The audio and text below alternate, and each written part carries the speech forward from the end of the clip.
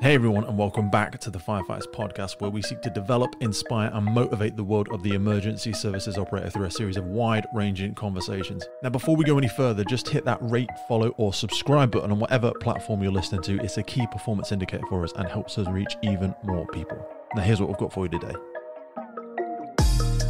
staff knew things were going wrong, but weren't able, didn't feel confident to speak up about it. Or, or, or, certainly at that stage, it was just they didn't speak up about it. And when we looked into it, we realized that it was around the trust in the system and they didn't have confidence that actually they would remain in a job. That's how fearful they were that if they spoke up against what was happening, they would be labeled as the troublemakers the patterns of behavior is the culture. Patterns are the sort of unwritten co-created agreements sometimes written some unwritten but those patterns identify those patterns. That's where you you identify your culture.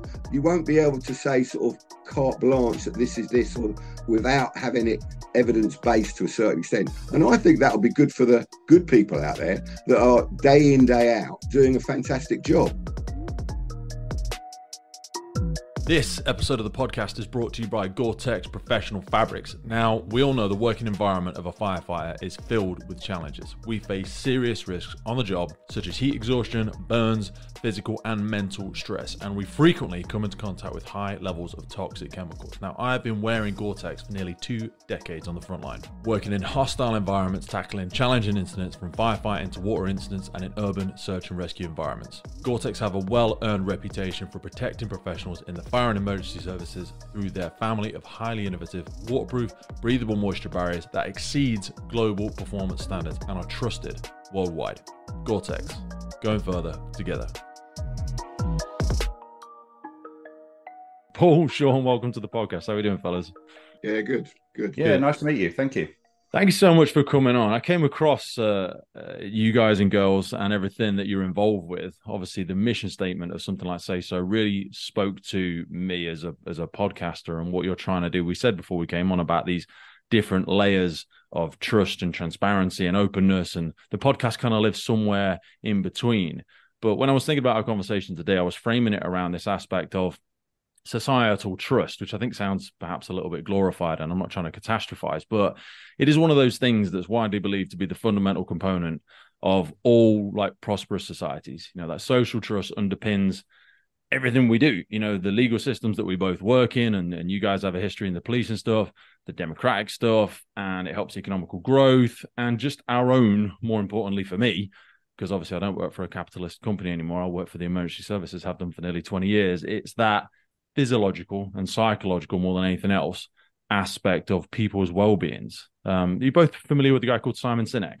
Uh, I've heard his name. Yes. Oh, you're gonna have to have a look at him because he he gives these great um, analogies of bringing people within that full circle of trust. Because if you're spending so much of your cognitive power worrying about being safe at work, being trusted at work, being protected at work, then you're not very productive at work because so much of your cognitive horsepower is being put into oh my god who's you know am i safe? Am i going to lose my job? I have to worry about what so and so said about me or saying about me. So if you could start us off with a little bit of a background of when you both sort of thought there was a need or or recognized there was a need in something like say so in the mission statement of improving the standards and creating sort of better working environment for people and also kind of both how how you both met because you both have a background in the police as well. I'll go first then, Peter. Take it. You, notice, do you notice how I always let him go first? That's always the weird one when you've got three people in a conversation or something like this. Take us away, Shaun. Um, okay. Um, yeah. Well, Paul and I first met in a project uh, when we were working, both working um, uh, on a contract for Surrey Police. Okay. Uh, we were asked to look at um, uh, uh, quite a high number. I think it was over 100, 120, 125 of um, some serious, what we called then serious care failures. Okay. So allegations um, arising out of residential care um, scenarios, uh, allegations of neglect or, or, abuse that had reached a level oh, really, been, really emotive stuff, isn't it? When you see yeah. some of those horrible videos on the news of abuse, and it's pretty horrific. Yeah. So 125 of these uh, were raised to a level where they uh, were reported to police for investigation. So they were pretty serious. Um, and we were asked to look at Uh, these going they, they spread back over about five years from I think this is 20, 2015 going back to 2010. Um, hmm. so we looked at 125 of them as a, as a team, a small team of us, basically to try and pick out any areas of improvement where the police could improve their hmm. safeguarding, where they could improve their correlating trends. The low hanging fruit sounds a bit offensive. Yeah, like you're not basically help, help them yeah, yeah, basically help them develop their staff. Basically, to Yeah. say, look, what what's got has it, where can we pick out anything that's gone wrong? Can we make improvements around how they deal with those sorts of cases? And that sort of thing's petrifying for the future as well, because we do have a massive growing aged population. So a lot of us are going to find ourselves in care as we're living longer. Absolutely, and and you know that that is the, the, um, another reason why why you know we, we felt that say so was so relevant because that that the, the you know the problems are only going to get larger, Yeah. not necessarily worse, but larger. Mm. You know, um, so um, yeah, we looked at those those cases, and the surprising thing that we found, or certainly the surprising thing for me that was found, was in something like sixty five percent of the cases we looked at. Hmm. Um, when you when you move the, the dial, the time dial, or whatever backwards before the event, staff in those care homes knew things were going wrong, knew things were happening that were perhaps against policy, against procedure, etc. Um, but weren't able, didn't feel confident to speak up about, it. Or, or, or certainly at that stage, it was just they didn't speak up about it. Okay. Yeah. And when we looked into it, we realised um, that it was around again the trust in the system. Mm. That They they didn't have trust that the system, if they ris- uh, spoke up, that anything would be done. Mm. They they didn't trust that the organisation would look after them very well. The the, the staff that was actually re- reporting. Um, and they didn't have confidence that actually they would, would remain in a job. That's how fearful they were Yeah. that if they spoke up against what was happening, they would be labelled as the troublemakers, and they would find Yeah, themselves. the, the automatic answer is well, no one else is saying it, Shaun. yeah, Yeah. yeah, absolutely. And um, so so we realised that there was a, a gap between um, when something starts to go wrong Hmm. in any sector, but let's let's focus on the care sector for now. When things start to go wrong, and then when that that, that critical stage when actually let's let, I hate using this word, but it gets to like a, a whistleblowing stage, a right last minute, you know. Yeah. Um, I, we we realised that there was a gap. That actually there was really little procedures around. Well, if something starts to go wrong, um, where can we report that? How can we get that out safely and and, and, and confidently so that the care provider themselves, and don't forget, even bad care providers don't want things to go badly wrong because it really affects them. Hundred percent. Yeah. So, so if we can get that information out during that period of where it's starting to go wrong, up until the point it's really, really badly going wrong, Mm. if we can address it the, the, the, the- and get that concern out at that stage, then it's a win-win-win for everybody.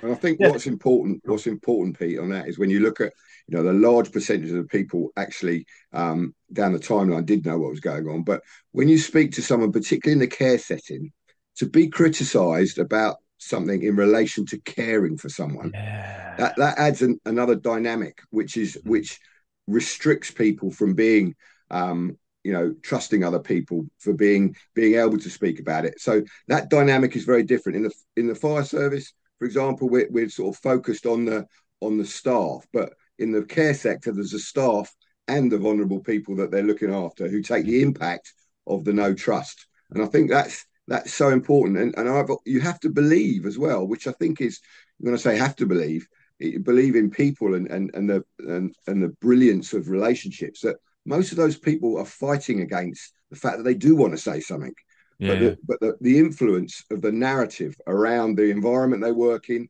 what they do, looking after vulnerable people, they just can't cope with that criticism. And, and we always felt that we could give them an environment, build a relationship um, where they trusted us, because ultimately we weren't going to get the information we wanted to and let them down.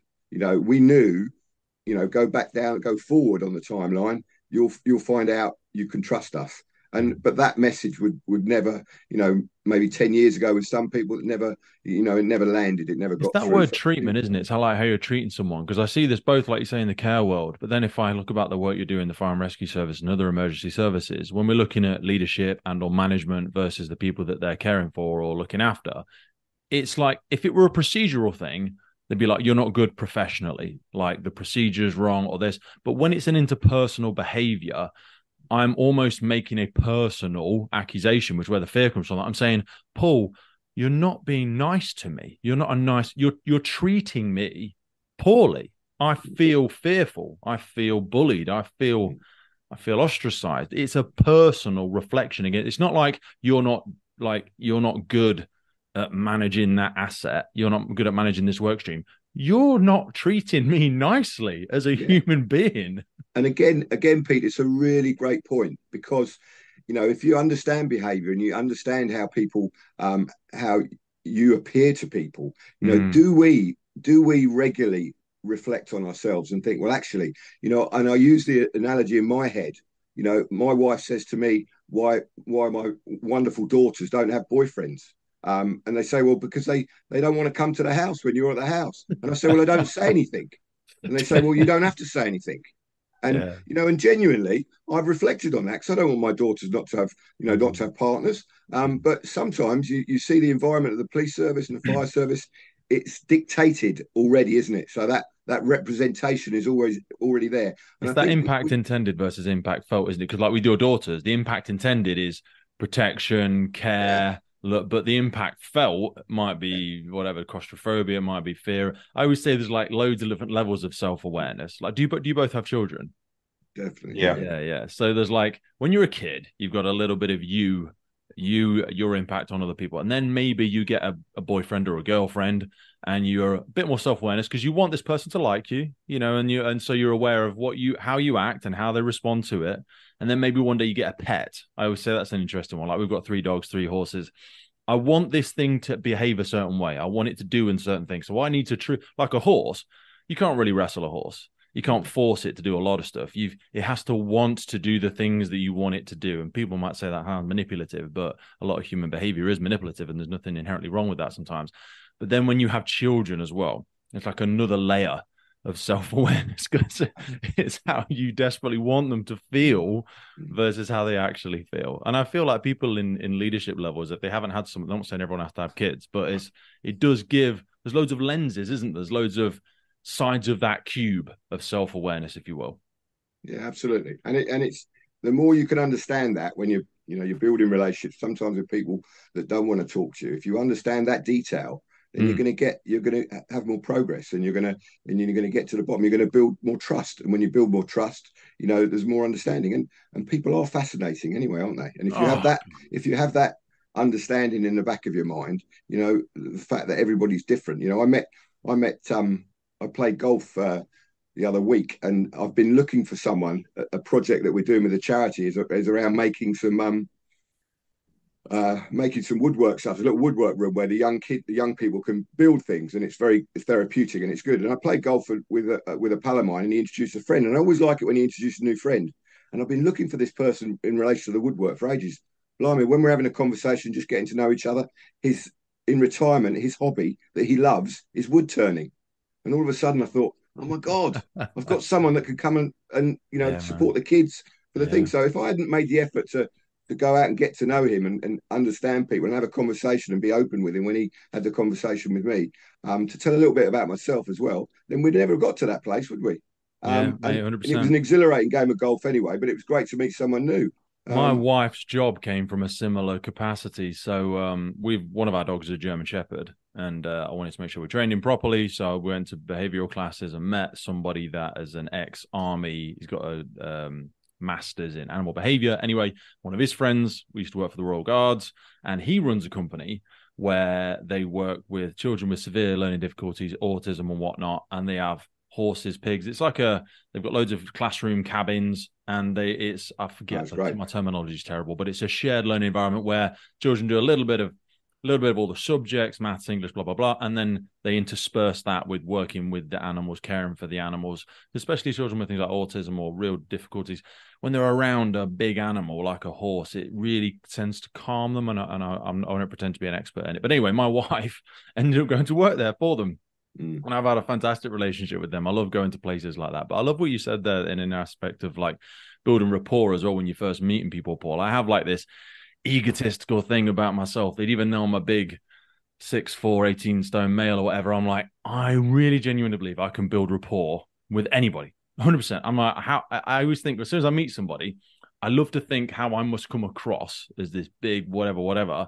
And then i almost like time it in my mind. I'm like how quickly can i deconstruct all of those misconceptions and build rapport with this person no matter how they look no matter what they're like? And that's kind of the podcasting as well. It's like no i don't care who they are not as i don't care but i'm like of hmm. course i can have a conversation with paul Of course I could have a conversation with Shaun. And I see that wonderfully done in the police as well, where they can have you know non-emotive, structured, empathetic conversations with people that have that have carried out some horrific crimes. And people are yeah, like, "Oh, I could never sit down with a pedophile." I'm like, "Yeah, I, absolutely, I could," because I'm interested in learning why. What what would it take for somebody to have that blueprint of the world?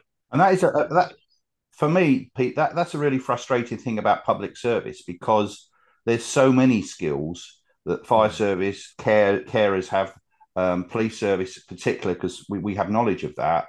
That I think the public don't understand. No. Um, that you know um, to, to, actually have the the skills and, and there are training courses out there, but obviously there's a. I've always said um, what makes a good detective if someone can communicate well and can get their point across and can, as you say, build rapport and um, build that trust with people because you're never going to get to the truth of what's happened unless you build that rapport you know mm. and that that is with witnesses it's with victims and also as you say it's with suspects as well mm. so it's it's about um um i think giving up a little bit about yourself as well you know yeah. um uh it, it's sort of saying you know if you came across as the big robust uh, almost automaton. I'm, I'm, perfect. I'm this. Yeah, that, yeah, automaton. Then I think most people will just you know put up a shield or whatever. You know.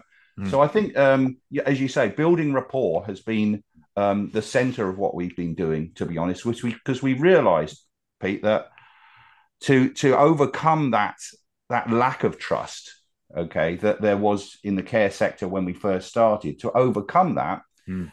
Part of the, the of what what is needed is to is for the for the staff in those care homes or any of the staff of any of the client companies that we now have is to understand what makes us tick and understand why we're doing it and to build that rapport and trust basically mm-hmm. that is the key what we think is is key to actually getting that that getting to the depths of the information that we want and getting that information um, uh, what, what, making the staff feel that they can relay that information um, and, and, trust the process, basically. I think that's definitely that was definitely when we sat in a coffee when we sat in a little canteen in Surrey Police Station having a cup of coffee, whenever it was back in 2016, and we looked at each other and we said, "Should we do this? You know, should we do this?" One thing we genuinely knew, and we didn't really know each other that well, is that we knew that we could build rapport with people to make them feel confident and make them trust us to bring that. And that's what that was the foundation of everything we did. And I, you know, from my own personal point of view, I know that, you know, I I had to, you know, I had to learn on the hoof as well, you know, because I, you know, I, I felt I understood a lot. You know, the biggest the biggest compliment for me in the in the world I worked in was, you know, that that bloke talks a lot, but he's not actually told you anything. Um, yes. So being, being able to, you know, and that was planned, but being able to being able to then tell a little bit about yourself, you know, yeah. why you're doing what you're doing, and Shaun talking, and I think that's we've sort of been on that journey together. I've moved forward a bit, Shaun's caught up, then Shaun's moved forward, and and we both sort of mm. allowed ourselves to be a little bit vulnerable around that's around some absolutely, of the and podcasting is exactly that as well. I always say to people, you, you need to learn the pitter patter. That's all it is. Learn the connectives. So you're almost like turning something around, spinning it round as you're continuing to talk, as they look for inroads, and you you take feedback from them visually and verbally of where they want to go with the conversation. And you've been talking for 40 seconds, but you haven't really said anything. And that's yeah. a bit of a trick. But you also like you you made a great point as well there around showing your vulnerabilities. I always say to people like if you just appear and you you gave a great analogy of a shield as well was if you just appear like this silver glistening shield, and I think that's the, the detriment of being overly professional at times in some of our services, is that when I do speak about me and my wife and and you know separating for a period of time or our miscarriages or my drug addictions or all the surgeries I've had in my body and my setbacks and 21 failed promotion processes to get to the role that I'm in now those act as like little anchor points, little hooks. Yeah, little crevices for someone to go, oh yes, I I I I connect with that one. You are similar to me. It, it helps with that mirroring aspect of it, doesn't it? Mm. Yeah, no, no, indeed, and and and so so getting back to the trust issue you spoke about at the first, mm. we, we we believe that is central and core to to what we're trying to achieve now. Um, so so taking the story further, Pete. Um, uh, you know, once we once we found um, that, that that there was this gap in terms of people not being able to speak up, mm. as as Paul said, over a cup of coffee in a canteen at Guildford Police Station, I think it was. Uh, we said, look, we want to do something about this. Yeah. Okay. Um, and in, in that early day, well, I think we both said to each other, we don't know where this journey is going to lead. No. But uh, uh we, we, you know, let, let, you know, we we ha- we knew we had some skills, we knew we had some experience, we knew that we could look after and keep information secure. We knew uh, and was confident of our own abilities to an extent, if you like. That's an uh, important bo- box to tick. Sorry, Shaun, isn't it? Yeah. The levels of the organisations that you're working with now, mm. you couldn't just be some cowboy from the personal development sector because you are dealing with some very. And I'm sorry to interrupt you. I didn't want to skip past it because you are dealing with some very sensitive information. Yeah, indeed, and um, but you know I've got experience. So as Paul of dealing with um, sensitive information, making sure that all the protocols are adhered to. Um, we we we then set about actually once we decided to go forward with say so, um, designing a website, um, making sure the information could be held um, centrally and and uh, in a secure way, and one of the things that we we started to do was sort of consult with with, with care staff. We went to a number of care shows. Mm primarily because when we set up Say So, we are we we are and we still are marketing. We are aiming into the care sector. That's where we were going because we felt very much we've been safeguarding for, for many many years. We, we, we feel very much uh, aligned with vulnerable people and how we can perhaps protect them more. Um, and what we wanted to do was um, market into the care sector and go to those care providers who would understand that actually, do you know what? By listening to my staff, I'm going to get more information yeah. uh, around risk out than I would if I didn't listen to my staff very well. You know, and, and these are my words, not yours. But it's like I yeah. see the care sector as some, some massive, enormous companies. And in my personal opinion, I've had a couple of girlfriends in the past who were care workers. Sometimes, my words, not yours, there is a very, very, very low level of training, to very low level of training to get some people into these. And it's kind of a just get out there and tick the boxes with some of these companies and they have a very high turnover. They don't look after their staff very well because as we alluded to earlier it's such a colossally enormous growing market. It's hard to get into because you have to get all the right legislation in place. So when some companies are in there they're just trying to get the job done and the level of how it is being done and the care for their staff historically has has in places been pretty unbelievably horrific in my and, personal and opinion. And it's very difficult as well for us. It, it was a challenge because we're not health professionals, no. you know, and uh, and there's a you know you you you are treated with sort of some skepticism. You know, you've got to be very careful not to criticize the way they care. You've got yeah. to allow them to know that you care. And and again building it's building a relationship to get accepted. But you know but going down to going on from that you know that sort of vulnerability of the people that they're looking after so many of those people don't have a voice.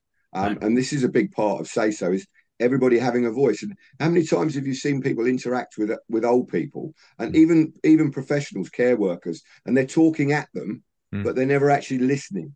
Mm-hmm. you know stimulating a bit of conversation yeah. They've got a lot to say. They've got a lot to say. Some of these elderly people, yeah. you know, and some of my some of my greatest heroes were old people. You know, they might not have been very articulate. They might have had a little bit of dementia, but they've still got a conversation. They've still got a voice.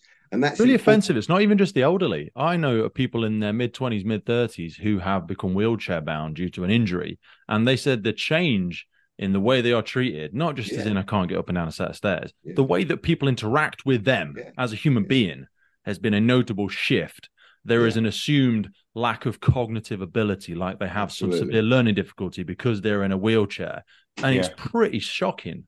Yeah, and again, it's getting a bit it's getting a bit deep into sort of behavioural science type bit. But but when you show these things and you present these things genuinely, which which Shaun does and I do just by coincidence, having been brought up in two different sort of lives in the police service, and mm. I think that's our that's why we get on so well when you when you present those um, those characteristics, people do react to it, and and that's mm. where that's where the sort of genuine sort of trust can be built. And you know, and we say in some of our inductions, you know, we this is us. We have a media profile a little bit. You know, scope us out. Trust. You know, try and you know, you know, you have to trust us to to work with the system appropriately. Um, and to you know, and it's important. It's a privilege to be trusted, isn't it? Really. Hmm. So we we we felt that there was a gap, if you hmm. like. Mm. There, there, was a need, um, uh, and uh, after some consultation uh, we we started to market. Um, we've got I think thirty to forty care homes now that we we look after. So quite quite a few care homes that we're looking after for, for about four care providers. We've got more care providers that we that's coming on board. I'm, I'm, I'm going to meet someone next week or, or, around getting on board. But what we find, um, Pete, is uh, and this is this is anecdotal, okay, but our experience is actually when you talk to ladies, mm-hmm in a senior position in care companies or indeed other organizations, when you talk about actually, uh, we don't think staff's voices are being heard, uh, perhaps some people are being marginalized, minimized, or, or, whatever. A lot of the ladies we talk to get it straight away. 100%. You know, hmm. you talk to, and, I, and, I'm, and there are some men get it as well. I'm not, I'm not trying to say this is, this is a real generalization, but this is our experience, or certainly my experience and, so I, I, do think there there is a, a, a case for, for saying that you know um, ladies in business have been in the past marginalised and they have experienced it. There are really good uh, care providers out there, really senior care care uh, leaders that we've spoken to, and when we talk to them about what we do, and they go, "Love it," you know that fits our people program. It fits what we want to do. Love it. Okay, but um, for those that that perhaps um, need a little bit of convincing, when we talk about finance, Pete, at the end of the day, we say, look, uh, on average, the reports that come in through say so can save sort of up to twenty thousand pounds from the worst case scenario developing. Oh yeah, yeah. You know? Suddenly the old ching ching comes in and it's oh uh, yeah have, yeah thank, you cast your mind forward to that person going off on stress and then all of the litigation and all of the mediation it shouldn't, it shouldn't be the... motivated by money though should it? That's the thing. it shouldn't be but that's they the are part of the public sector and they legally held to a budget. They can't just i'm sure they would love to have a mental health professional on every single station on every single team but yeah. you have to acknowledge well, it you're right. but don't forget pretty much every care care provider is a business at the end of the day you know uh, um, uh, and so so it does. So um, i think from every angle from uh, you know from from lead, you know i'm just looking at the cqc um, inspection elements and that they are similar to the hmic inspection in, in yeah, to a certain degree but they've got one for well led you know uh, is your business well led? Do, do, you you know is your uh, do you provide safe care? Yeah. do you respond to you know the needs of your your uh, your, your end users you know and say so can help with so much of that in terms of you know if they can get more information out from their staff that otherwise they wouldn't have mm. then clearly they're going to run their business better at mm. the end of the day you know so so we, we so, so for all those reasons we started say so marketed into the care sector and the history is that we we moved into the uh, additionally moved into the fire sector. But it, but that transition of moving into the fire sector has has taught us that actually say so and the principles of say so are applicable you know, across many applicable sectors. across every business sector you know where you've got staff particularly at remote sites or uh, maybe more than um, 20 staff there's yeah. no way that that one person who runs that business can understand what's going on every day, 24 hours a day in, in their business. You know, when the organizations get that big, the cultural ties get a little bit weaker as well, don't it? And the values and the core ethics and all that sort of jazz. Every time it gets filtered and reinterpreted and it goes down across layers, mm-hmm. across departments, outstretched, sometimes globally. Yeah. It, it, it's like Chinese whispers. It comes out the other end, and you go, "That's nothing like what I heard so and so say six months ago when we were stood in the main meeting." Yeah, when we overlay that onto the fire and rescue service and the police service, from your from your backgrounds working with with both, I mean, obviously, we all probably saw the monster coming over the hill four or five years ago with a lot of these cultural reviews and shining a big, uh, much needed but embarrassing light into the corners of certain cultures and certain sectors.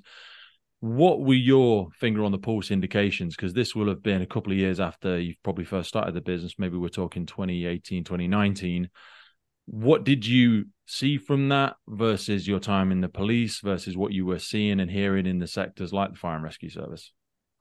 Well, that's an interesting point actually, because you know we we started in the uh, in the fire sector in 2018. Um, we, um, well, Paul can tell the story, but but we basically met a guy who was then the, you know the chief fire officer of one of the uh, fire fire services. Who was the first uh, one you started with, Paul? It was Royal, it was, it was Royal Berkshire. Okay. Um, Trevor, a chap called Trevor Ferguson. Ferguson was the was the chief there, hmm. um, and we met at a, we met at a firefighters charity where I was there representing my children's charity, and um, and uh, you know we were supporting the firefighters as we coincidentally have done for for a long time, and, and we had a conversation around it, and he he um and we often talk about this in the presentations because I think it's a it's a great story. I was I was really impressed um, at the at the the man that was Trevor Ferguson. You know, a, a, very honest, open man, and it came across that he was he was determined to look after his staff. Um, uh, it, it, was a priority. You know, you can talk about it, tick a box, but you know, it, it, my judgment was, you know, this man really cares about his staff. You know, he understands the role, um, and he's a he's a great leader. And when he found out about say so in the conversations, uh, you know, we made it very clearly clear we were starting in the fire service, in the sorry, in the care sector. Mm. Um, and he said, "This fits for what I want in relation to the well-being piece." You know, would you consider, um, you know, would you consider sort of adapting it a little bit for the fire service? And we said, of course we would. It was ahead of the plan for us, um, mm-hmm. but you know, primarily one of the main reasons was because he wanted to hear from his staff and he wanted to look after the well-being piece. So that's really how it got going. Um, you know, back in when was that, Shaun? 2017? 2018, wasn't it? When we first got that, that early, yeah. I think September, um, um, January 2018. But I think, Paul, we should we should put a big shout out to Nikki Richards, actually, because, um, you know, uh, she was, a, I think, head of HR. I think she's chief executive now at, at Royal mm. Berkshire but she you know she held us under a microscope for the first you know mm. session lots of questions etc but has absolutely embraced us and uh, has recommended us elsewhere. So, say so. So for that individual there as one example, but when you are speaking to HR departments hmm. or mm. uh, or people in organisation, or some of them, because the the only idea of the, the, naming of human resources can be a little bit cold to people, even though that is yeah. effectively what we are. But how was your relationship talking to some of them? Because some might take it that oh, Paul, Shaun, you know, say so. You're trying to tell us how to do our job. This is an accusation exactly. that we're not even. You're saying that's my job. Everything you're saying you're going to do, I already do. Are you saying I'm not doing it very well? Yeah, you know, frosty to say that to say the least. and I think, and that comes back down to the sort of persistence and the determination yeah. and the belief that we had. We've got to keep having these conversations, and slowly slowly we've sort of we've we've got into the room with HR um, and they understand more. And, and, Nikki was the same in the early days. I think there was a certain amount of skepticism. It was new. Yep. You know what? This information potentially is going to be sensitive information about individuals. Is going to be sitting with a independent organisation that we've only, you know, we don't know that well. That we've just yeah, done some yeah, due diligence yeah. on. Um, so we, we get that, but um, but that's um, that's those have been some big conversations with HR. But for, you know, fortunately now you know they're, they're very much more receptive because that whole element of independence has been accepted hasn't it mm. you know it's it's not long at all but you know the conversations with hr before no independence it's not on we're not you know we're not going yeah it takes a massive amount of confidence from services that you are working with to really open up their doors and say you know yeah, we're happy if you speak to anybody. You know, make your number, make your contact details, make your you know extensions available to all of our staff. It's not like when you have someone from HMI coming to visit and they go, Oh, where's so and so that was off on the sick for six months? Stick him in the closet, put and send him off to another station, you know, hide that woman, that man, that whatever in a place where they we can put our hand over their mouths, really, for want of a better description, which is very sad. Do we think that do we think that still goes on a lot? I don't see very much of it myself, but my I, I live within my own biased bubble, which is the problem. People, I'm not, I'm not remotely popular or anything like that, but I mean, people obviously know what the podcast is. If they know me, they know the podcast. So negative, toxic people don't tend to adopt a position in my environment. They know yeah. I don't tolerate it. They know I'm very happy to challenge things but that's also a little bit sad because that means that perhaps I don't see some of these things. But I have in the earlier side of my career, I'm talking 10, 12 years ago, uh, was part of uh, five or six, probably only three that went anywhere serious. And I don't really go in any clicks. I'm not part of any WhatsApp groups, which I always say to people it has benefits and co-host it because it's like I'm not in on the latest news. But what people do begin to identify, and this is again what I love about the podcast, we get a lot of really fantastic guests, yourself included, people that are really moving and shifting and operating. And they come and talk to you, they come and talk to me, and other people will do the same because they know you can be trusted. But that comes at a cost. It means you don't get involved in all the clicks, you don't get involved in all the gossip. But the cost of not being able to be trusted, I much prefer the position that I'm in now. So that's a very long winded answer to saying that I don't tend to hear as many cases of it now. Mm. Um, but if someone was doing something bad, they probably wouldn't tell me because mm. they, they know I'd probably do something about it. Yeah. I, I mean, um, I, I, think um, what we have found is uh, there is a there is a mixture of um, ingredients in uh, that, that make up uh, the culture in any particular workplace. I mean, there's the general workplace culture of the whole organization, but then you have pockets of yeah of, of perhaps uh, less less uh, less um, positive um, yeah uh, definitely. culture if you like mm. where people are, are, are reluctant and difficult find it difficult to speak up. Um, and and and I, have got to I've got to sort of uh, accentuate here that you know say so is not here just as the standard oh I want to report something so I'm going to say so. Um, what we're here for is those those times when people feel they can't report through their line management. You know, if, if people can report something through their line management or in any existing systems, Pete, we want them to do that. Mm-hmm. want the organization to flourish and, and be the best it can be in its own way, if yeah. it's that if that's possible. But we also understand that no matter how good and how positive a culture is, sometimes things will change. Mm. Relationship will change in the in the workplace. Different policies come in, uh, different managers perhaps. Um, mm uh, maybe someone will fall out with someone. Maybe there's some conflict that actually makes it just embarrassing, awkward, difficult to raise a particular point in the workplace. And we're here for those those times. We're not here for, um, oh, I'll, you know, uh, I'm gonna I'm, I'm gonna speak to say so about this sort of thing. You know, mm-hmm. it, it's about if you can speak to your line manager, please do so but come to us when. I when think I think organisations like the police, but definitely the fire service. There's a bit of a, a, a two sided coin again when we talk about the strength of the culture, because I do think the fire and rescue service has a very very strong culture, but that's neither is both a positive and a negative. Because mm. strong isn't saying good or bad; it's just saying strong culture. Because yeah. some stations operate as mini empires. You know, certainly with on call, volunteer, retained sectors this person's worked there for 20 years, their dad worked there for 20 years. The yeah. fire and rescue service, for better or worse, still reeks at times of, of nepotism and oh yeah, my dad's dynasties. brother and my sister. And it's a dynasty, yeah. brother. You know, everybody yeah, knows everybody. Um, and uh, you know, if I did want to report it to the senior leadership or my, the next person above the station manager, the group manager, who is the group manager? Oh, it's John. Oh, you mean John that you were on Red Watch with for 15 years? Yeah. Yes. Okay. I'm probably who not going to talk to John then. Who you fell out once over something minor, and he's remembered that ever since, sort of thing. Yeah. You know, know? and, it, it, and that, that I think that happens in every every workplace, and it's that those types of concerns. But having said that, and, and I have to, I, have got to reiterate this, you know, for, for, for because we've been working in the fire service since 2018, the fire sector. And generally speaking, um, the leaders that we have encountered who have taken on say so mm. have embraced trying to listen to their staff and I think are, are trying to change things for the better to imp- ever improve. Mm. However, what the I think there is a problem is there's as you were saying earlier there's this perception at the very least the perception that there is other other forces at work if you like or yeah. um, uh, a negative aspect of reporting things uh, a gamble. That's what it feels like a fear that something might happen, whereas mm-hmm. actually that is it may just be a perception because they've heard of bad cases in the past or they've read something, seen something on Facebook or social media or whatever. Oh, that could happen to me.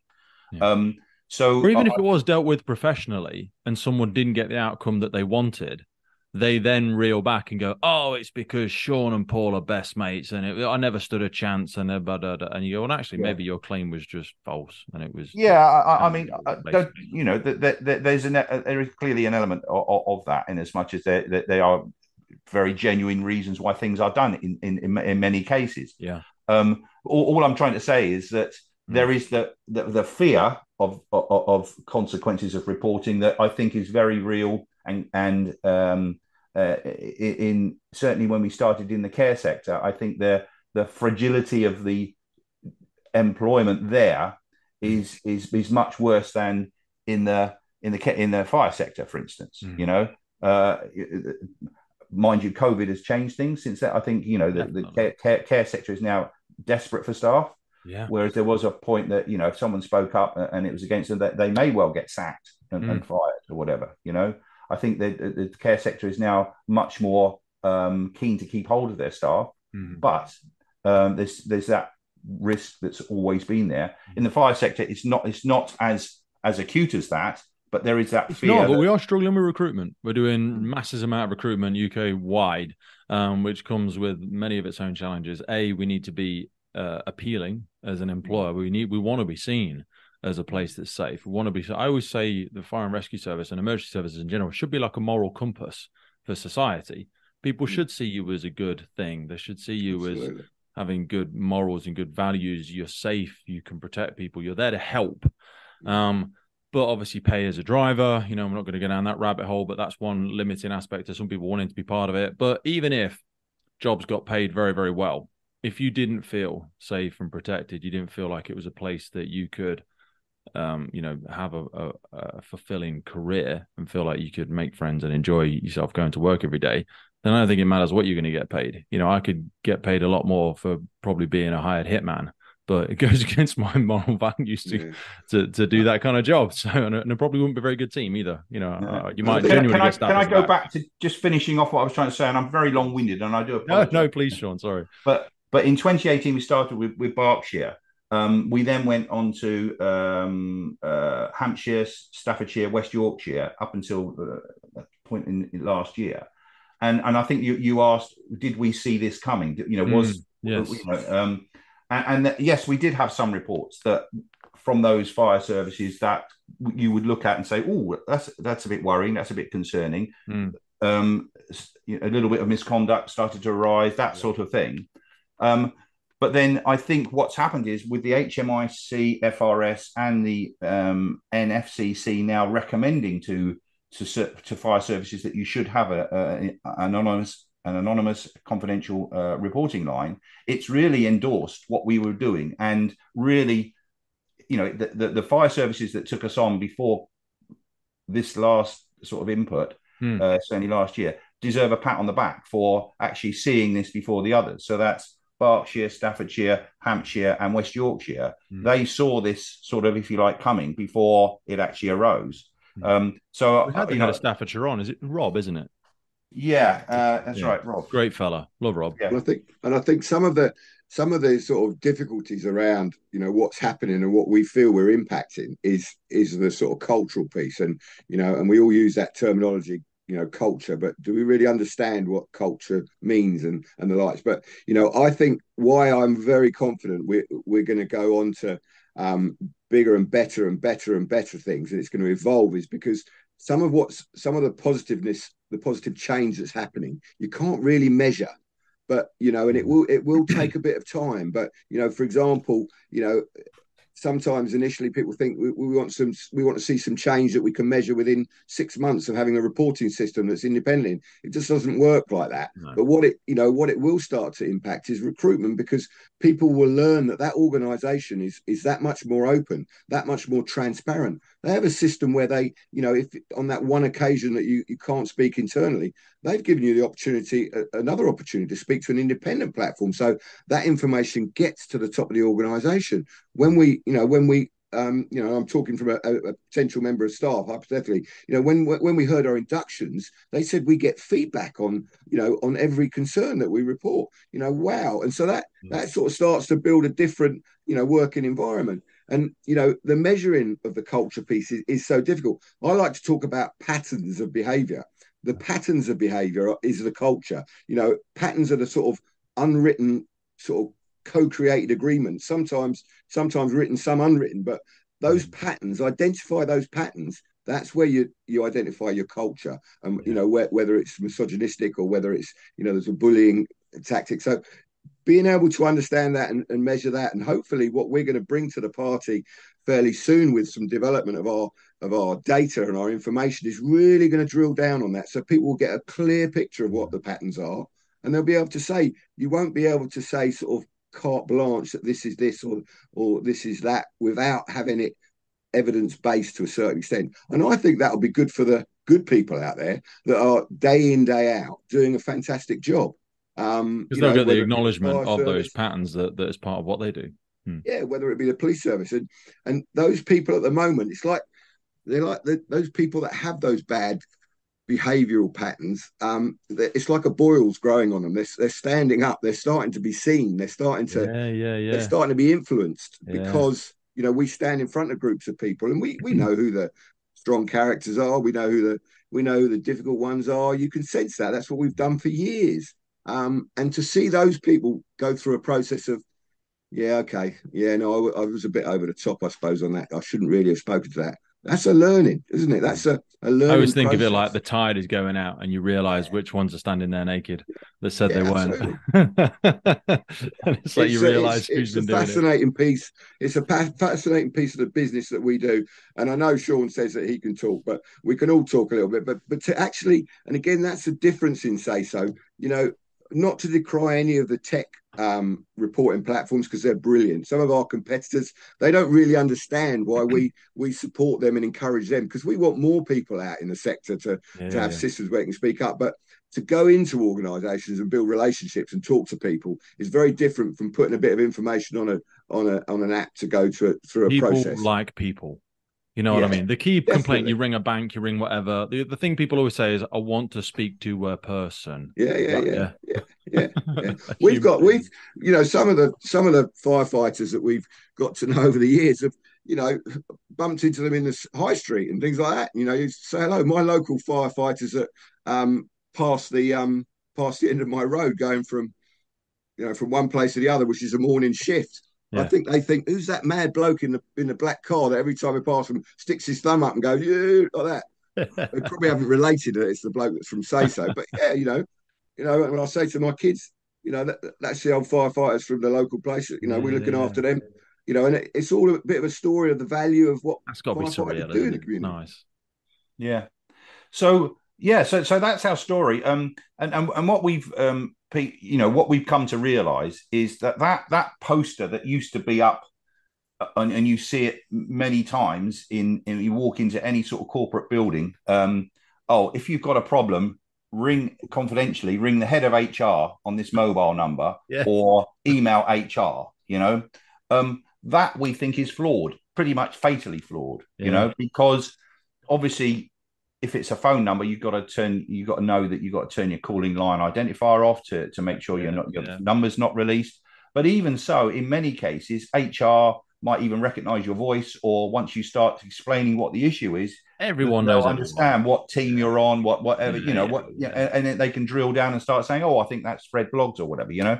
Um, uh, and we've even, you know, um, seen and heard stories of how you know um, information is left left on desks and stuff uh, that, that should never be left on desks and uh, mm-hmm. you know so we, we we really are tuned to keeping information secure and confidential etc um, oh, mate. it's the one because, part that needs to operate silo from the rest yeah. of the organization yeah when when we used to get that security of information wrong in you know some of the previous life we worked in you know lives could be lost you know yeah. seriously if we got it wrong or we disclosed you know if you work in the you know the source handling world you know you get it wrong you know someone could lose their life. So and and that's always been the standard that we've you know we've you know that transferable skill from what we used to do across that. And and i think again people pick that up they get that that you know it's it's important to us it's a priority. If they thought that information wasn't handled at you know we didn't handle it at the top of our game then they wouldn't trust the system would no, they? Consequently they wouldn't trust us.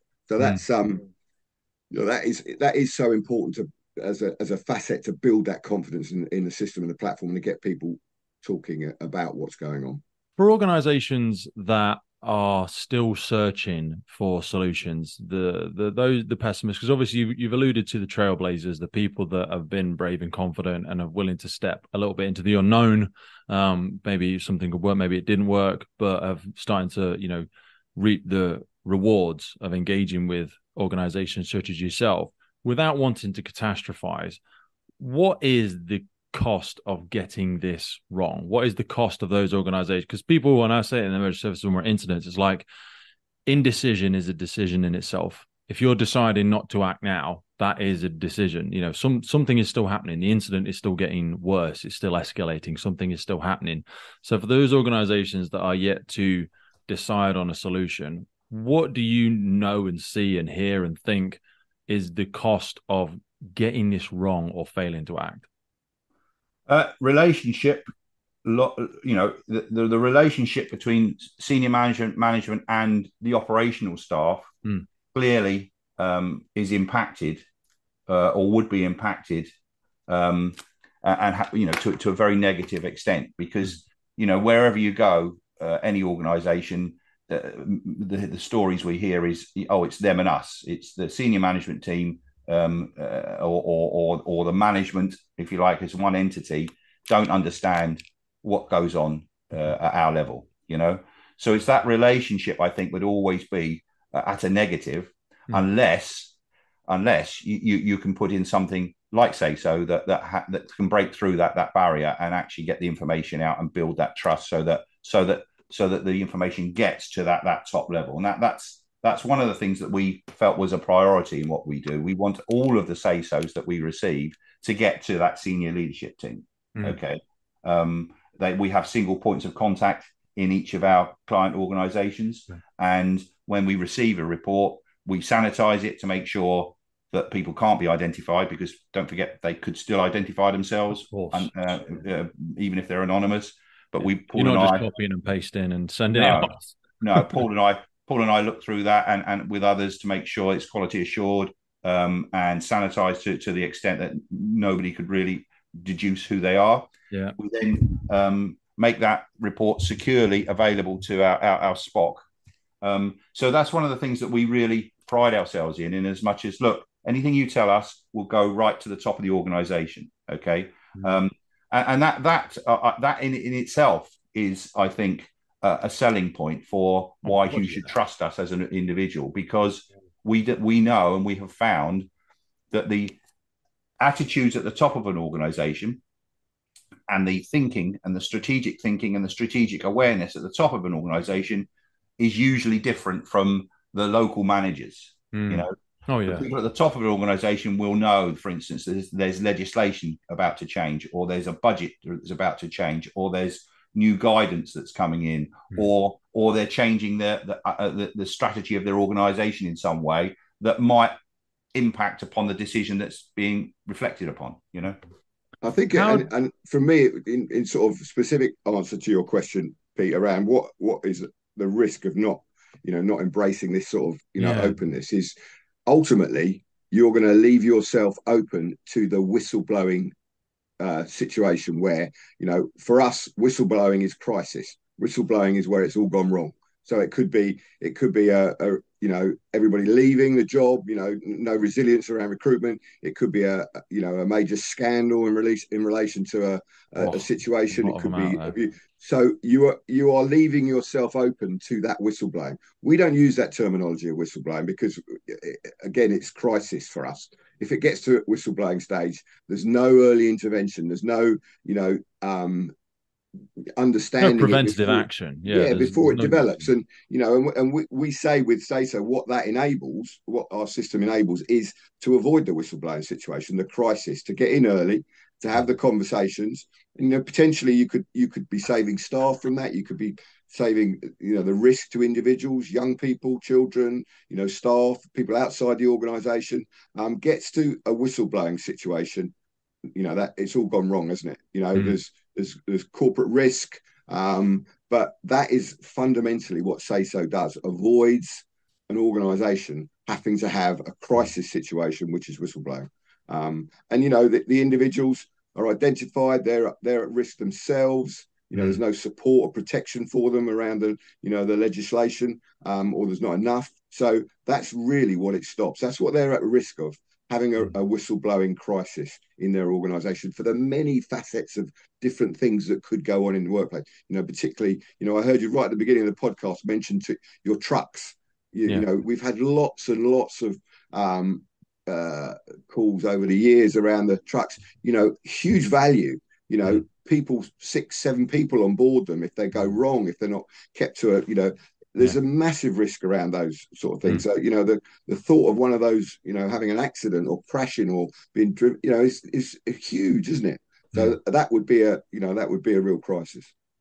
I want to mm. be very respectful of your time, but I also would be remiss if I didn't place myself in the mind of someone that is struggling in their workplace. So if you could walk me through the, the process of if I was if I, you know, if I if I wanted to reach out as an individual myself, let's let's use the the two comparisons of let's say I'm not part of an organization that you are working with, and and, the other to be that I am. So if I'm calling in from my organization, which engages with your service, how would that conversation look? What what would I need to tell you? You know, how much detail would I need to go into? Because I'm obviously, if I'm starting to make this phone call, uh, it might have taken a lot for me to do it. I'm probably nervous. I'm probably worried about what's actually going to happen if one of you could talk me through how that conversation might go. Yeah, certainly. Um, and, and, this is something that we we explain obviously when we go and visit because the mm-hmm. different we, we believe that one of our USPs that we don't believe any other similar service does is we go out and talk to the staff um, mm-hmm. sort of outreach work 20 minutes half an hour talking to uh, care staff or fire watches uh, at, at, their locations and we talk them through you know the options that they have to to report Mm-hmm. Firstly, we say, you know, this is only for those times where you feel it's difficult or impossible to report through your line management. Yeah. Uh, you know, come to us. Um, but they've got two options. They can either go online, okay, um, uh, and go to our homepage, press a button that says "Make a Concern." Um, they've they've got some. Uh, what once that page opens up, there's a warning at the top there, Peter, that says, look, we're not an emergency service. Okay. Yeah. Uh, if someone is an immediate risk of significant harm, don't don't call us. And that goes back to what I was saying about look, please call us early. You know, if you know to allow your organisation um, an opportunity to put things right. Yeah. You've been trained, your experience, you know, thing, if things are going wrong and shouldn't be happening, or whatever the concern is, don't let it get to a critical stage. Yes. Okay, call us early. So that that's how we try and cover that point. But then there's a box that opens up, um, and they can type as much as they like in there about how you know um, what the to describe the the issue. Um, it can expand as much as they like. There's some prompting questions. So mm-hmm. we try to get as much information as possible because at this stage, don't forget, we haven't asked what about their identity, okay? okay? Because the information about the risk or the concern or the issue is the most important thing. Mm-hmm. So we're trying to get as much information about that. So there's some prompting questions about the location, when it's happened, who was present, those sorts of things. But we also ask on a proactive level, when might it happen again? Mm-hmm. Okay. Mm-hmm. Is there a pattern to it? What are the ingredients, for instance? What are the circumstances uh, that are likely to? And when you're asking, sorry, when you're asking who's present, are you looking for names? Are you just looking for roles, or just does it matter what I put in there, or whatever information that you know? Can name... I leave things blank if I don't want to put something in there? Yeah, yeah, okay. of course. Uh, names would be ideal. Yeah, uh, because that then provides the opportunity to investigate and ask people, etc. Mm-hmm. But we do respect the fact that hey, this person who's reporting might be in some difficulty and in fear even. Yeah, so yeah.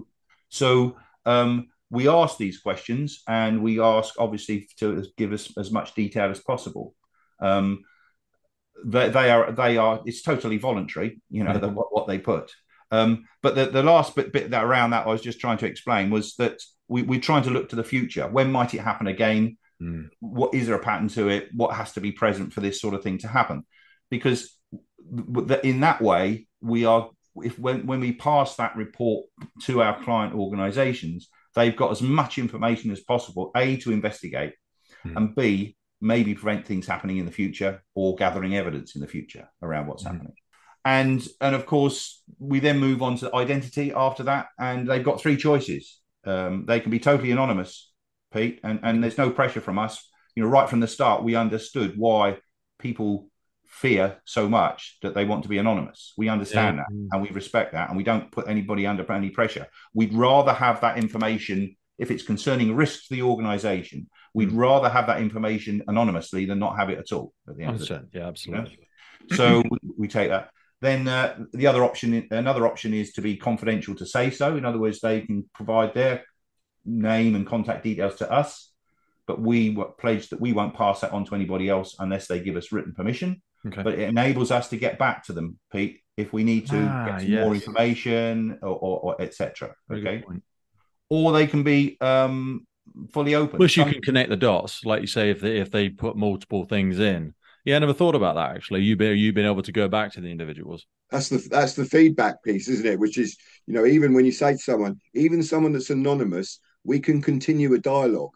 Yeah. And, and, and in reality, what happens is quite often that anonymous person is comfortable with the conversation, comfortable with the dialogue, and they become confidential. So they, they sort of step down, and it, it adds a, you know, whether we like it or not, it adds an apparent credibility because we can say to the organisation that we know who this individual is now. They were anonymous, but they now feel comfortable. As you know, they've replied to your the that's request. a real testament, yeah. Um, and and that's and that's built that rapport, and and and that's where we, you know, because sometimes the organisation will say, well, look, we need a little bit more information you know, um, we can't really. Can you go back to them? So we go. A platform facilitates that dialogue to reopen again. And because we've always told the individual, whether anonymous, confidential, or open, come back to the platform, put your unique reference in, and you'll see the feedback. And although we don't pressurize the organization, we the organization know we're looking for feedback all the time. Sometimes the feedback is um, is not what they want to hear, but yeah. at least it's feedback. Um, and th- those two guarantees, feedback and getting it to the top of the organization, is a win win for us because it's a good mm. start, isn't it? It's a good yeah. start to building that rapport um, mm. around what's you know what's actually happened. But I think you've also got to be aware, you know, our operators on the phone and ourselves, you know, sometimes you know when you mention you, you touched on it yourself there, you, you know, it, it's taken a, a, big step to to make yeah. this call. It could be a personal thing as as as say so, we've got to be aware of the indicators of someone's emotional sort of uh, state and well-being because you know we we can signpost them. We, we will be looking to them yeah. to say to them you know we'll maybe put the concern to side but you know you really need to speak to your organization. You've got some great support um you know and and uh, deal with your, yourself and you know at the start. So that's really important to be aware of that. Fortunately touch wood you know, over the years, I don't think many people have sort of come on on online or or report to us where we've been really concerned about them as an individual. But obviously, mm. that is in the back of our minds as well because that that that bit that courageous bit to speak up sometimes. If it's something maybe maybe that's happened at home that's reflecting work, that's yeah. a tough that's a tough conversation, isn't it? So you, we have to be very aware of the individual who's talking to us, whether it be via the phone or via the you know the, via the um, the written word. Mm, absolutely. So just just finishing off the conversation that I was saying. So they've got three options around their identity: confidential, uh, sorry, anonymous, confidential, or fully open, which means you know that they, they give their name and details. They don't mind who we pass it on to, but they've come through that independent route because mm. you know what we've found, Pete, is and I think you read it in any of the research and any of the recommendations of any of the reports you see about scandals, crises, or whatever always the recommendation afterwards oh you must have an independent reporting process because mm. that's where people who want to report things naturally migrate to they naturally yeah. want to find something that is independent from their employer okay yeah. so so that's that's that that's the uh, you know some people just want to come through that route but as paul says everybody gets a reference number everybody uh, and, and we're moving to a position later this year where everybody will get a a username and a passphrase. Okay, mm-hmm. there's something new, um, so that they can log back in, even if they're anonymous. Okay, they you keep their username and um, passphrase, and they can get their uh, feedback. At the moment, we give them a reference, uh, and they can use that to, to get their either telephone us and to, uh, verbally explain mm-hmm. what their reference number is, and we can confirm who they are in that respect, and then give them some feedback. Or they can go online to our homepage, and there's a, a place on there where you can input the reference number and get and get your feedback. So mm. we think it's very important that people can, under any circumstances, whether they're confidential, anonymous, or fully open, they get that feedback. They get a, a result or an update around what's happening about the issue that they've raised. What are the percentages between people that choose to speak verbally versus submit something electronically? And I, I, know I'm putting you on the spot there. Is there a, if you had to finger in the air, is it 50 50? Do people prefer to speak to people or do they prefer to write it down? I think it, it's more, I have to say, possibly because of our digital age that we now live in, it's probably 60 40 in terms of uh, in terms of um, using our online reporting. But uh, you know, I think you know because we have got people available on a free phone 0800 number, safeguarding trained people, people that are used to, you know, um, dealing with people in vulnerable situations. Mm. Um, that there's always that option there as a sort of I wouldn't say comfort blanket, but some people just like to talk to someone. Yeah, uh, some know, people struggle to find the words themselves, and, and yeah, and they just want that little bit of support. I want to be very respectful of your time, gents, but I'd be remiss if I didn't um, give people a place to go. You know, they've, they've, heard a lot about here about what you do, uh, how you bring value to the services, how you create that that safe environment for cultures and attitudes um, to to change or at least be heard. What is the best way for organizations that are still struggling to find a solution? We'll put obviously the link to the website in the notes for this episode, but how would you prefer people reach out if they wanted to learn a little bit more about it? Yeah, we've got a con we've got a contact page on our, our website. They uh, that's how most organisations come into us. Um, hello, we've heard about Say So. Could could you someone contact us so they can come in that way? Uh, they can dial the 0800 um, 321 3546 phone number and press option number two. That comes through to our, if you like, our office. Mm-hmm. Um, so uh, yeah, those, those those two two ways. And I think Peter, we're very pleased to be able to say that. I think once people have a conversation with us, or we do it. We have a very brief presentation that we that we give. Um, it's quite a success rate. Once they have a conversation, yeah, probably yeah. takes about twenty five minutes, and they see a brief presentation of where we're at, and it stimulates the questions. There's a very large percentage of those people come back to us, or those organisations come back to us, and um, uh, and you know we're, we're, we're working together. Um, and that's the important part. It's not. It's a topic that is so complex. It's so fascinating. It's so detailed. Mm. Um, and I would say, just do yourself that. There, there, will be no harm. You know, nothing lost. Do yourself that. Um, give yourself the opportunity to maybe have that get to that stage where you have a little presentation or an interaction with mm. either Shaun or myself or one of the team, um, and look at that presentation and then take it away and digest it. And I think um, you know that's that will be um you know you'll see the all the answers yourself and have answers to questions it was a very easy sell for me. You know i forget which one of you i had the first conversation with but you know i saw it come through a, a communication form. I went to the website and it just made sense. I was like oh yeah obvious. It, i i want to have a conversation with these gentlemen. It makes sense. Oh thank you. But but we what we've noticed actually pete is when we first started um you know uh to actually have somebody come in, you know, a CEO of a care company or a, a, a senior leadership in senior leader in any company, um, have a couple of blokes come and visit them in the boardroom, whatever, and say, look, we want to go out and talk to your staff and and, and get, you know, you know, you, you could see it was a little bit of a difficult sell. Oh, are we going to get a load of grief out of this? You yeah, know, yeah, yeah. you know, you say, well, you know, you have to take the rough with the smooth. You might get some stuff that you think, actually, oh, God, not not another one of these or whatever.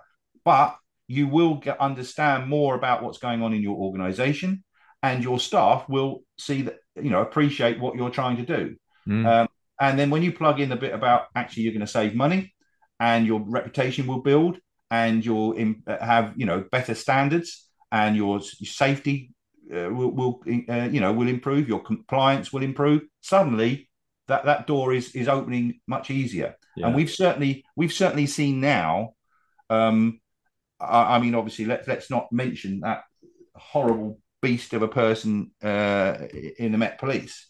Um, but you know, since the misconduct in public roles yeah. has emerged as a very, very topical media mm-hmm. thing, mm-hmm. lots of public services, and not just public services. You know, they're all reflecting on their people strategies, on their get your house in order, on, yeah. on their yeah, on their vetting, on all sorts of stuff around compliance, misconduct, standards, uh, and all that sort of thing. Which I think, and, I, am not, I'm not, I'm not. This is my opinion, but this is has has gone back to austerity days and before austerity started. Yeah. There was this slipping slippage. I think everybody now is is tightening up everything mm-hmm. and really understanding that fundamentally their people strategy must include engagement with their staff, the best mm. possible engagement with their staff. You know, yeah, that that morale that morale piece. One of the really exciting changes that you see. You know, we have been into some organisations in the fire sector where there's been a little bit of pushback. You know, around they don't they don't want to listen. They don't want to listen to us. And literally within 40 minutes, you can because you can have the sort of conversation around well why would they put us in place we're independent they can't influence us Yes, there's a remuneration for what we do, but we're not going to be turning up to your organisations in Bentleys and the likes. You know, there's there's a um, you know, but they, yeah, I drive a Nissan Micra. It's really lovely, actually. My, they, my... they put us in place because they want to hear from you, um, yeah. and you can see that. And literally, that is a real change that you can see sometimes. And you know, some of the conversations might be as you leave. You know, well, let's see what happens, and it goes on to the positive stuff because to land that message with the staff that that your organization's leaders they want to hear from you and this is what we're doing in addition to all the good practice we've got on the reporting systems and direct reporting to your line managers on that one occasion um, you can go through this independent organization because that's how much we want to hear from you.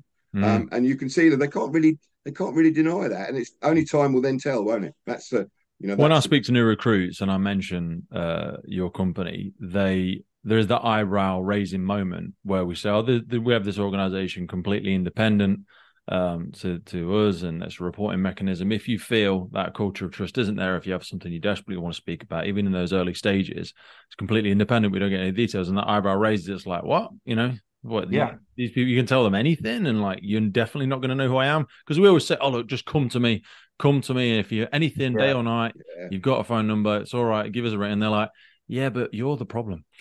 you know, not not for me, hopefully, but and that's what I say about it takes time. But that message, Pete, that you're giving there, that is reverberating around your organization. Yeah, 100%. that's becoming its own pattern of behavior. But mm. it's a positive pattern of behavior. It's a mm. positive culture that's changing. What you really can talk to someone anonymously. Yeah. And no one will know. Wow. it's sad how surreal that is for people that, that yeah. it's the fact that it does raise eyebrows. And, and, and what, actually, I, am really pleased to say that we, we, you know, Berkshire gave us our first like foothold in in the fire fire sector, um, which we're really pleased with, and we've got a great relationship.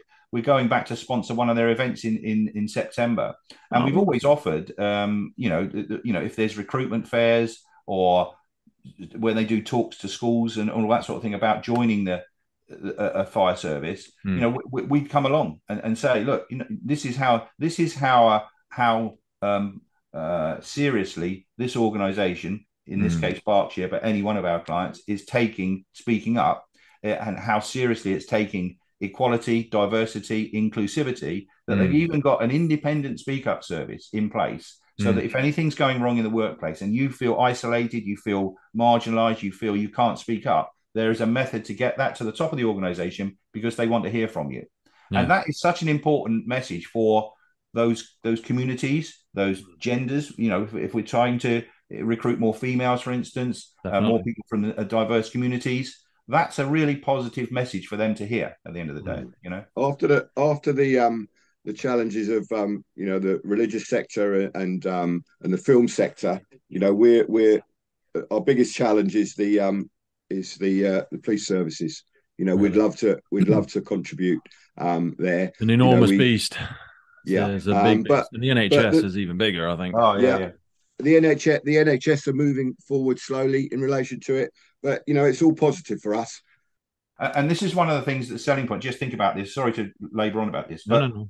if everybody in a, in fire service feels comfortable to speak up, mm-hmm then you're using inclusivity. You're including everybody. Yeah. you're not just ticking a box. You're not just saying, "Oh, we can include everybody." Oh, aren't we good? You're actually using that yeah. tactic and that tool yeah. to make your organization better. You're actively avoiding an echo chamber. Yeah, you're, or you're actively actively using inclusivity as a tool. You're not using it to show, oh look, we, we're all, not virtue signaling. yeah. yeah, virtue signaling. You're actually using it as a tool. Fantastic. And when you go and, and just to sort of finish off, um, when you go to the safeguarding side of things, when and we've had this conversation, uh, you know, two or three years ago, it didn't really land very well. But when you now accept that independent, impartial speak up platforms will generate more, um, you know, more information around the workplace, more information to to safeguard. Hmm. How can you not? How can you not go to it? Because how can you not implement it? Well, they feed the development of your safeguarding policies. Yeah, you can't yeah. you can't safeguard if you know that by virtue of another system you'd have more information. So how can you be fully confident that you safeguarded? And and this 100%. is a conversation that didn't land very well three or four years ago. It's the unknown unknowns in that Johari's yeah, window, you, isn't you don't know what you don't know. Um, yeah, so um, fortunately, those conversations are a little bit better now because people are looking to to implement the independent platform. So fantastic. But we will we will be looking to have a podcast ourselves. You should soon. do. Yeah. So I think I think you might well be um, one of our first guests, Pete, if that's all right. Happy to come on, fellas. Happy to talk about we it. We can talk about right at the end of our conversation. We we, yeah. we both spoke about you guys have you could run a podcast very easily. You have those skill sets, and you don't need some young whippersnapper like me to be blowing smoke up your ass.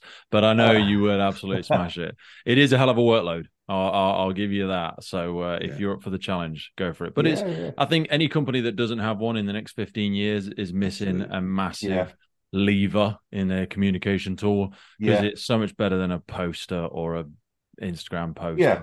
LinkedIn, whatever paragraph. You know, it's a very powerful tool. But I want to be very respectful of time. People won't know we're recording this on a Saturday morning. So, no, no. Paul, Shaun, thank you so much for your generosity. Thank you so much for giving time away from you, from your families and from all your other duties. Uh, I really look forward to hopefully meeting up at some point in the future. And I really thank you for your time. No, thank you, Peter. Been a joy. Thank yeah, you. Nice to meet you. All the very best. Firefighters podcast is put together to develop, inspire, and hopefully even motivate those individuals who have chosen to serve our communities and be part of the first responder family. It's brought to you by myself, operational firefighter Pete Wakefield. If you have enjoyed today's episode and you want to see the podcast continuing, please head over to our Patreon page where you can support the ongoing efforts of the podcast. Please hit that follow, subscribe, or rate button on whatever platform you're listening to. Please support your emergency services responders, and thank you for listening.